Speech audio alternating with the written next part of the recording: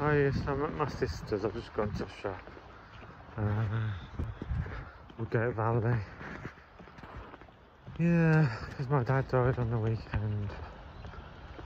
Uh, I'm okay when I'm with my family, but when I go back to my flat in Whitford, it gets very depressing. So that's why. That's why I'm down here for a few days. Um, I was over on the last the weekend as well, obviously, when my dad passed over here. Um, yeah. So it's sad, but yeah, that was Demi. I should wear glasses or should I tell them? I thought, I thought that was my niece though. My niece's name is Demi. Oh, yeah. I would like to say that. You, you okay, Demi? oh dear.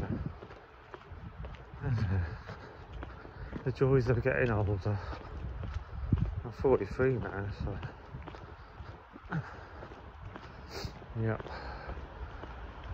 Yeah, as I was saying, it's very depressing at the moment with my dad's and yeah. My dad died on Sunday, it is Tuesday today. Yeah. So I went back Monday night and then I came back again. No.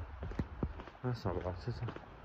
No, I, I left Sunday night in a taxi and then I came back again on Monday because I don't know, I just couldn't face it. I was, yeah, I just really struggled in my flat. I was like, yeah.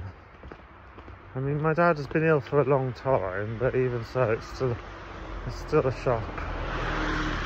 Um, I have been very upset, but I haven't, I haven't shown that on YouTube.